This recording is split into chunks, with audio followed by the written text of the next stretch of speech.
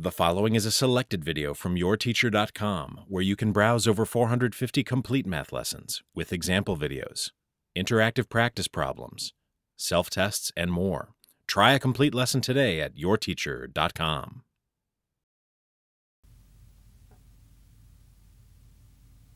A piece of string that is 63 inches long is cut into three parts such that the lengths of the parts of the string are in the ratio 5 to 6 to 10.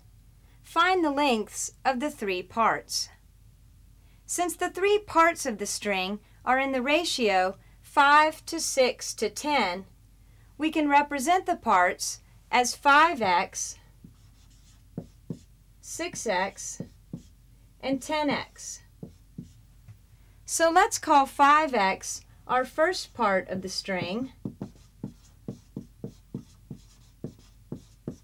and 6x our second part, and 10x our third part.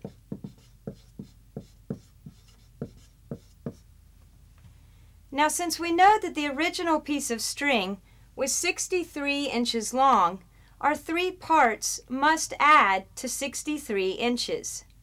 So we can set up the equation 5x plus 6x plus 10x equals 63. Simplifying on the left side gives us 21x equals 63 and dividing both sides by 21, x equals 3. So the length of the first part of the string, 5x, is 5 times 3, or 15 inches. And the length of the second part of the string, 6x, is 6 times 3, or 18 inches. And the length of the third part of the string, 10x, is 10 times 3, or 30 inches.